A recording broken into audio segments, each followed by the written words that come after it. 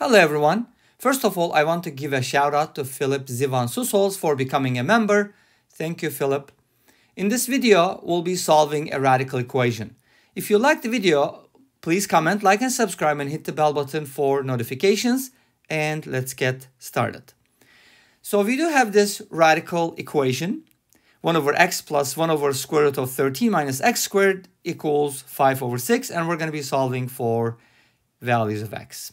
Now, when you see a problem like this, some of you are probably thinking to use a trigonometric substitution. Did I read your mind? Okay, something like this. You know, we had similar problems before and we used effectively the trigonometric substitution. So what does that look like? Well, you can use sine or cosine, it doesn't really matter here. So I can basically say that, okay, let x be equal to the square root of 13 times sine alpha. Okay, so of course we got to make sure that uh, this is valid because obviously sine alpha needs to be between negative 1 and 1, but that works because we do have the domain of this function uh, requiring that 13 minus x squared is you know greater than 0, so that will actually work. So if you go ahead and substitute, what happens? You're going to get some expression, you can go trigonometric, but that's not what we're going to do. Okay, you could definitely do, do this approach and see where it leads you, but i would like to show you something different, okay? And what does that look like?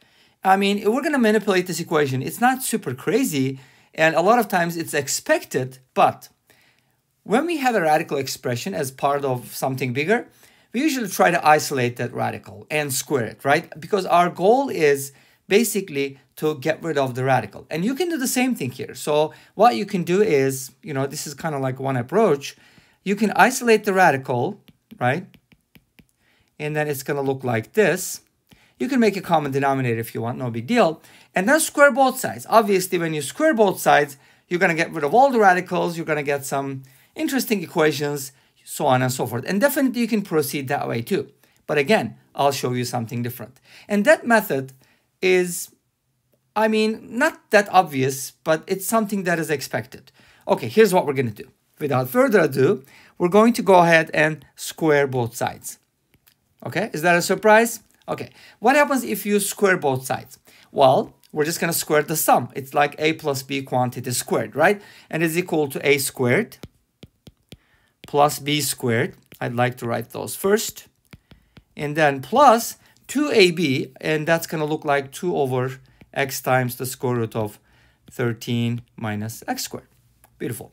On the right-hand side, we have 25 over 36. Now, at this point, you might be thinking, what are we going to do with this? Um, are we going to make a common denominator? Well, if you do, it's definitely going to get messier, and you don't want that. So you want to keep it nicer. How do you do that? Well, we'll make a common denominator, but only partially. So we're going to go ahead and combine these two guys here. Why? Because you'll see. Okay, is that a good answer? So yeah, we'll do that right now. So if you make a common denominator, you're going to get 13 minus x squared plus x squared, because you have to multiply by x squared, divided by x squared times 13 minus x squared. Again, we're partially doing it, not completely, because it's going to be real messy if we do that. Okay. And then we get our radical here. We still have a radical, but that's okay. We'll handle that. Okay.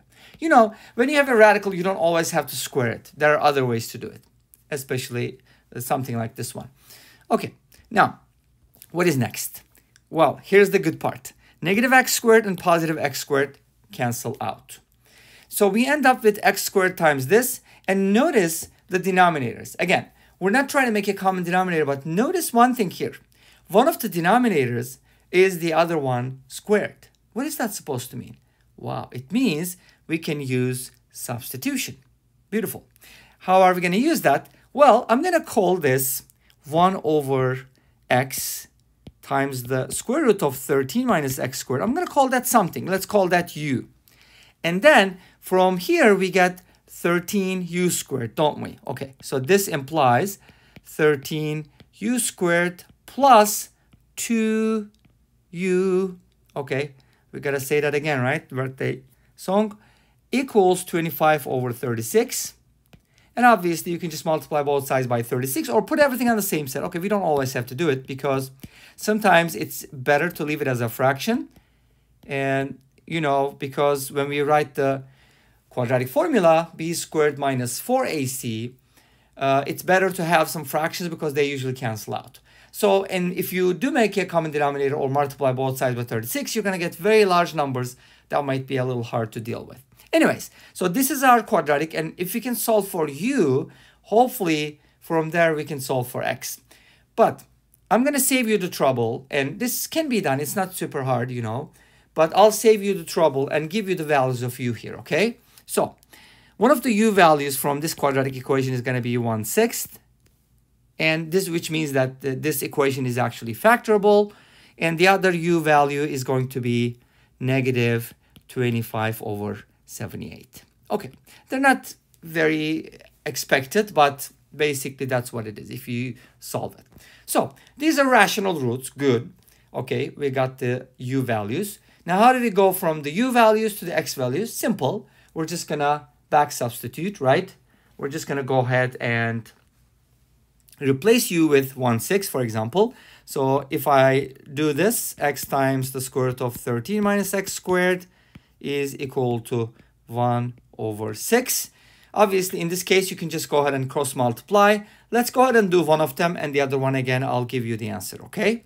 So we get x times the square root of 13 minus x squared is equal to 6. If you square both sides, you're going to get x squared times 13 minus x squared is equal to 36. Now, even though uh, u comes from a quadratic equation, x is not going to come from a quadratic equation. Well, sort of. It is.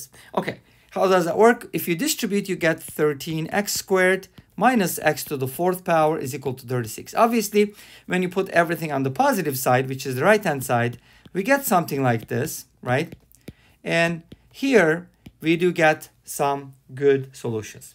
How do we get some good solutions? Well, first of all, notice that this doesn't have any x cubed or x in it, so it can be easily factored. Uh, so our idea is to find two numbers whose product is 36 and whose sum is negative 13, right? You know how to factor trinomials, and this is a trinomial. So those numbers are negative 9 and negative 4, which means that this expression can actually be factored into x squared minus 9 and x squared minus 4, which is pretty, right? Okay, now from here, as you know, we're going to set each factor equal to 0, and we'll be getting two solutions from each one. So we get x equals 3, x equals negative 3, we get x equals positive 2, and we get x equals negative 2. Okay, here's the thing. When you solve these values, not all of them are going to work nicely, okay? Because when you go ahead and back substitute, obviously you have a radical like this one that is always non-negative. And it's multiplied by x and it's also non-negative, which means x cannot be negative. So we're basically going to discard the negative values because they're just not going to work. So x equals 3 and x equals 2 are good values. But that's not the end of the story because we do have another equation or another u value that we need to work out, right? Okay, so what are we going to do next? We're going to go ahead and set this 1 over x thing to that value. So it's going to look like this.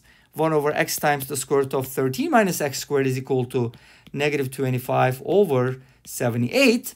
And then cross multiply, square both sides, you'll get a quartic, but it's actually can be turned into a quadratic because it's called biquadratic maybe, something like that. Okay, so it's kind of like x squared squared and then whichever solutions are valid. And again, I'm going to save you the trouble because this is kind of time consuming and you don't really need to worry about that. If you want, you can definitely go ahead and do it in your own time. But the x values that come from here are going to look like negative square root of 481 plus minus 13 divided by 10. Okay, so we're going to have four x values Eh, which is kind of expected because we're getting a quartic equation and those are the solutions. And this brings us to the end of this video. Thank you for watching. I hope you enjoyed it. Please let me know, comment, like, and subscribe. And I'll see you in another video, same time tomorrow. Until then, be safe, take care, and bye-bye.